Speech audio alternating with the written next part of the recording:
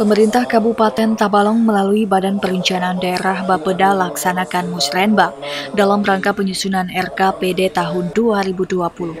Musrenbang meliputi tiga kecamatan, Tanjung, Tanta, dan Burung Pudak, meliputi usulan sektor pelayanan publik, infrastruktur, dan pengembangan ekonomi. Dalam musrenbang kali ini, Kecamatan Tanta mengusulkan 204 kegiatan, terdiri dari 189 usulan musrenbang desa dan 15 usulan tingkat SKPD kecamatan. Dari 204 usulan tersebut, beberapa di antaranya menjadi usulan prioritas karena belum terrealisasi di tahun sebelumnya.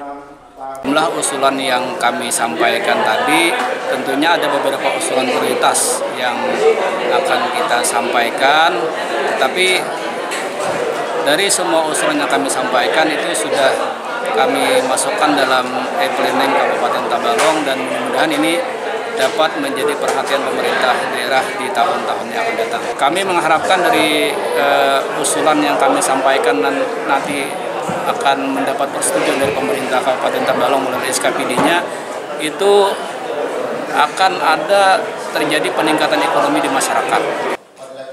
Kepala Badan Perencanaan dan Pembangunan Daerah Kabupaten Tabalong Haji Mahdi Nur mengatakan, usulan program tidak akan dihapuskan, melainkan akan dibagi dalam short list dan long list kecamatan di mana usulan yang termasuk shortlist akan dilanjutkan ke dalam musrenbang kabupaten dan bersama-sama.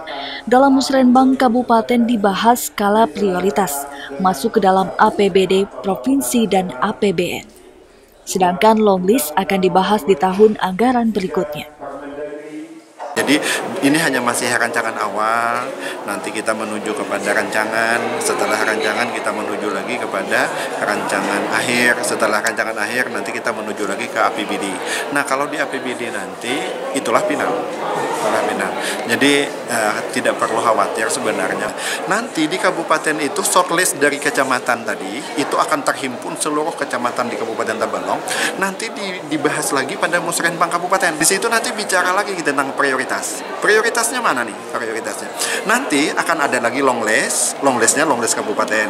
Nah nanti ada short list. Nah short list inilah nah, untuk mengarah kepada APBD dan atau yang diteruskan kepada pemerintah provinsi atau yang diteruskan kepada APBN. Mekanismenya seperti itu. Mudah-mudahan masyarakat paham. Oke, cukup. Pembahasan program prioritas setiap kecamatan akan kembali dibahas di Musrenbang Kabupaten yang rencananya akan dilaksanakan di bulan Maret mendatang. Muhammad Aditya, TV Tabalong melaporkan.